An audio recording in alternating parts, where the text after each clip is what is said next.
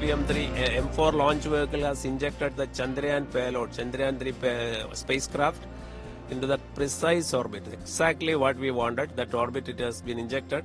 And today onwards, the onboard thrusters will be fired and the Chandrayaan will be uh, taken away and away from Earth for an uh, even full landing on moon surface on uh, August 23rd.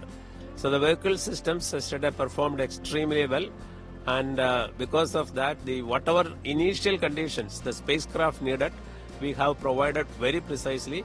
And since the first leg of the experiment is uh, 100% success, so the, the spacecraft also is in a very good health, and the spacecraft will be able to go to moon uh, on its own using its own propulsion and its own logic, onboard logic, and will make a soft landing um, on 23rd September as of now.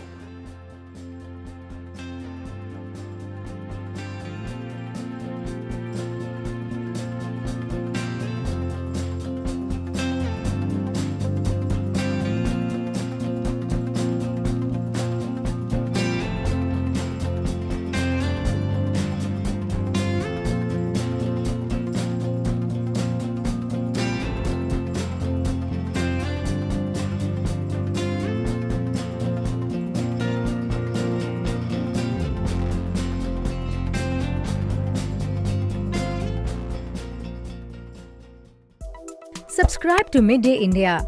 Get direct notifications on all our videos by clicking on the bell icon.